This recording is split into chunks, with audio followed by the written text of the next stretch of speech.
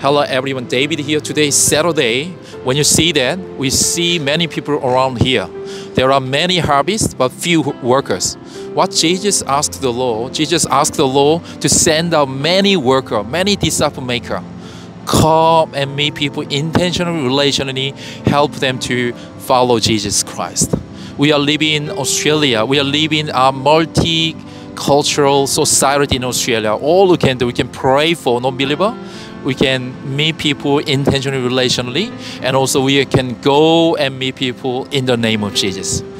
There are three levels of conversation: general, meaningful, spiritual conversation. We can build up relationship first, and then there is God's time. We ask them to read the Bible together, ask them to pray each other, and then if there is a God's time, we can share the gospel, share our faith story, and then God will work on them. Holy Spirit work. It depends on God. Come on, come on, come on. Let's go and make a disciple.